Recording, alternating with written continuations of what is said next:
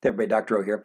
This short video, I'm just going to talk about alcohols as chemical control agents. So, as you can see here, uh, there are two types of alcohol that we use. Ethanol, which would be the same kind of alcohol that people would use to get intoxicated, and isopropanol, which would be your rubbing alcohol. So, two types of alcohol. Um, how they function, they can denature proteins, so they basically can unravel the proteins, and if a protein loses its shape, it loses its function, and they also can disrupt the lipid membranes. They can function as disinfectants or antiseptics. Remember, the same chemical can be both. Disinfectants are used on surfaces, antiseptics are used on living tissue.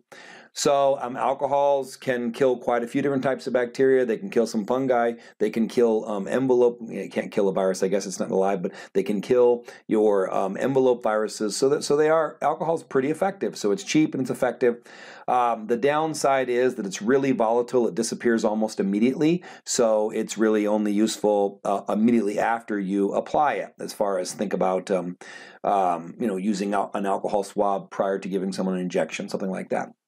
So as far as um, the two different types of alcohol, it appears that both of them work best at about a 70% concentration. Those numbers used to be lower, but I think we're seeing some examples of evolution. That number keeps creeping up. I know like Purell, for example, used to be 62% alcohol, and now you know they now they're 70%. And you're seeing most of your hand sanitizers, at least your good ones, are climbing up to at least 68%. So there's uh, so so you do have to have a certain amount of alcohol, but you also have to have a certain amount of water. So 100% alcohol wouldn't work. So the way um, it actually, you need water to, to disrupt these membranes and denature these proteins. So it's just kind of interesting, but 100% alcohol is not effective at killing microbes. So if I ask you any questions about this, 70% is the sweet spot at this point.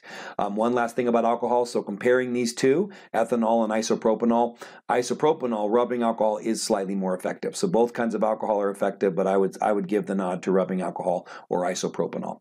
All right, so those are your two types of alcohols that can be used to chemically control microbial growth. I hope this helps. Have a wonderful day. Be blessed.